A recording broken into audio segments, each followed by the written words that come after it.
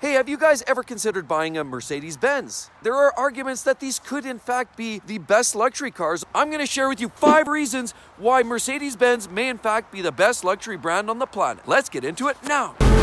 Welcome back to the channel, everybody. Mark with Exotic Car Play Place. So the first reason why they may in fact be one of the best brands is the level of technology in their cars. Now I'll be the first to admit that too much technology can sometimes taking away from the driving experience and a lot of other brands are also on similar page. But Mercedes has always been an innovator of technology and they don't just stop with the basic level of innovation like you might find with a Lexus. They go the extra step and they create a level of functionality that becomes almost seamless in your day-to-day driving. Let me give you a list of some example technologies that Mercedes is using today that makes the driving experience so much better. The first one is active start stop assist, right there.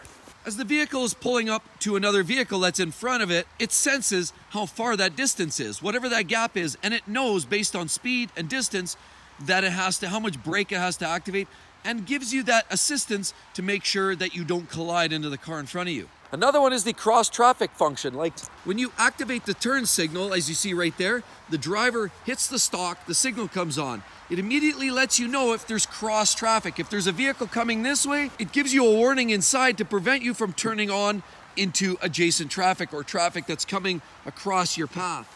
Another technology is the exit warning system. And of course, if you go to open your door, say you're getting out of your vehicle, it lets the driver know if vehicles are coming down this way very quickly to prevent opening a door with busy traffic coming up the side, thus preventing your door getting ripped off or your legs being sheared off. There's also energizing coach, which prevents the driver from getting too fatigued. There's also an e-active body stability system that utilizes the onboard 48 volt DC system to create dampening forces and make alterations to the suspension as you're driving down the road, making improvements and improving on the overall ride quality. Now, Mercedes also has their MBUX system with personal assistant. It basically is their personal assistants built into the cars that utilize voice recognition, utilize hand gestures for heating and stereo controls, as well as provides different changes and shifts to ambient lighting opportunities. And then there's a 4MATIC system right here. Right there is the all-wheel drive. The 4MATIC, whenever you see that on the Mercedes, and most actually come equipped with that today, is their electronic four-wheel all-wheel drive. The 4MATIC is their all-wheel drive system and changes, shifts power from front to back and back to front as needed based on traction. Again, if you've got snow and ice, the 4MATIC system does a great job of providing you maximum traction. Now, most brands and most manufacturers have some level of this. For example, BMW and the xDrive vehicles have their own variation of all-wheel drive system. Of course, Audi has the Quattro system, and arguably Subaru has the best. Most manufacturers now provide all-wheel drive opportunities. And those are just a few of the technologies that Mercedes has to offer, some of which other brands do similar things, and other times a lot of brands don't do the similar technologies. They're always the leading innovators. And the second reason why Mercedes-Benz might in fact be the best brand available right now has to do with the quality interiors particularly when related to the same vehicles in its class. I'll give you a great example. My wife recently bought a $50,000 C-Class Benz coupe, and I also bought a $130,000 Jaguar F-Type coupe. And now, although the leather is a little more extensive within the Jag, the actual finishing materials and quality and, and attention to detail is arguably finer in the, in the $50,000 Mercedes than it is in the $130,000 Jaguar. In their class, there's really nobody that can beat a Mercedes for the quality of interiors. Just have a look at the quality levels of the latest GLE. First of all, you've got the full digital display, it runs across almost two thirds of the dashboard. The leather appointments throughout, the thick rim steering wheel. The seating controls are very, very sharp. The vents are well appointed and the trim level is really second to none. I mean, let's also have a look at the interior on a C43. Very high quality finishing even on a relatively base model, C-Class. So I invite you to go look at some of the latest Mercedes-Benz. You'll find the common theme being a lot of brushed aluminum on the controls. Look in the door panel, specifically for the power seat controls. You'll also find it all over in the console. Cons controls in general are done with brushed aluminum. You'll find lots of leather touches. As you move up the ranges, you'll find more leather and you'll also find contrast stitching, which is a beautiful thing. Also, the general design theme is also high quality not just straight and generic. It's actually well sculpted and very pleasing on the eyes. And on top of it, Mercedes is really moving a lot to the electronic displays. And some of their displays are the nicest in the business. If you look at some of the recent models, look at the new Mercedes S-Class as almost a full wraparound type of display. Lots of electronic digital displays for controls and just for general visual appeal. And check out the interior on this beautiful E-Class right over here. Show me a more luxurious interior and I will show you $25 million. This is absolutely beautiful and breathtaking. So look at the behemoth behind us. We have a Mercedes S550.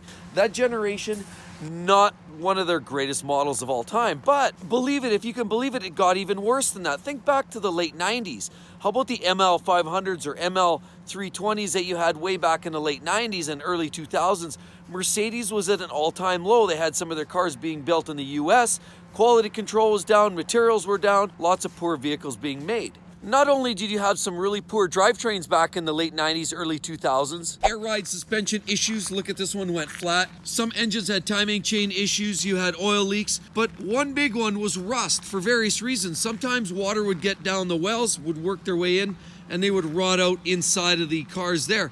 But if you look at a lot of the late 90s and early 2000s, they rusted around everywhere. They just had a real propensity for rust. And then you transition to the next generation. They got a little bit better as you got into the mid to late 2000s. They started to show improvements. You lost some of the rust issues.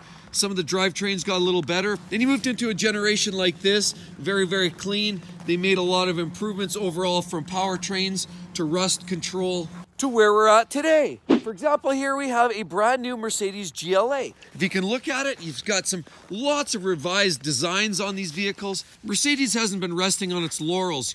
You get great engines now. The 2-liter turbo 4-cylinder engine is used in a lot of cars, proving to be quite reliable in the Mercedes world, and they're used in the GLAs, the CLAs, C-Class, and a lot of base models vehicles. Mercedes has also been stepping it up with six-cylinder engines, as you see in some of the E-Class vehicles or lower-end You also get some great V8 engines, and now the 4-liter twin-turbo V8 is shoehorned into a lot of different models. It's proving to be not just versatile, high-performing, efficient, but it's also becoming very popular. And why do you think the latest Aston Martin offering is using a similar engine from Mercedes?